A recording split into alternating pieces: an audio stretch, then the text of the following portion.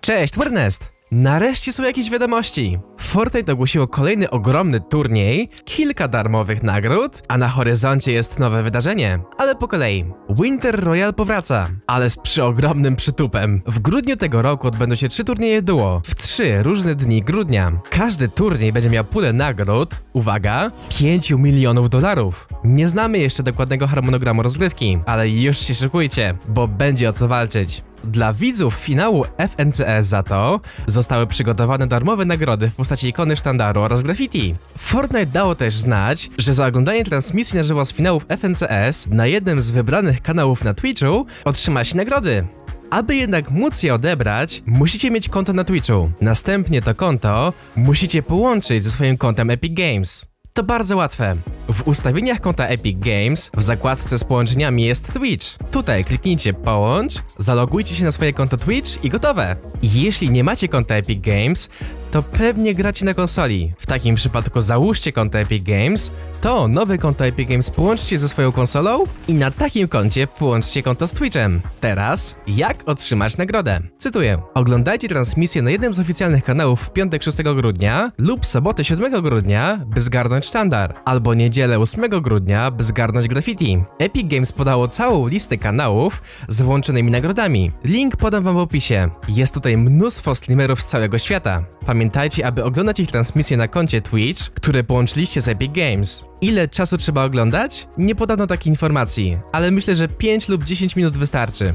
Poza tym wczoraj na moment we włoskojęzycznej zakładce z wiadomościami Fortnite pojawiła się informacja, że do sklepu weszła Razor, postać z Battle Breakers. To była pomyłka. Razor nie pojawiła się w sklepie nawet po zmianie sklepu dzisiaj o pierwszej w nocy. A szkoda, bo to bardzo ładny i bogaty w szczegóły skin, który co ciekawe ma kosztować tylko 800 fodolców. Ale to nie wszystko. W zestawie z tym skinem ma być także ta oto postać. To też postać z Battle Breakers. Ten skin będzie jednak kosztować 1500 fodolców. Nie wiemy kiedy w końcu te postacie pojawią się w sklepie, ale jeśli taka wiadomość została przygotowana, to są duże szanse na to, że już niedługo, może nawet w ten weekend. Zamiast zestawu Battle Breakers dzisiaj do sklepu trafiła nowa zimowa pani misia, którą swoją drogą polecam. To jest skin reaktywny by the way.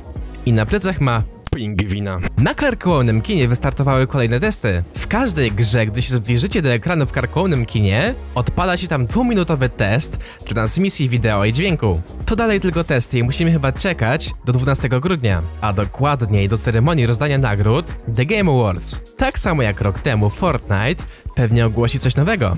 Fortory wstawił filmik, na którym pokazał wszystkie etapy zmian na karkołomnym kinie. Zobaczcie sami, w ciągu kilku następnych dni wszystkie samochody zostaną stąd zabrane i będzie więcej miejsca dla widzów, czyli nas, graczy. Ja już dziękuję za oglądanie i zapraszam do oglądania nadchodzących zmian na mapie.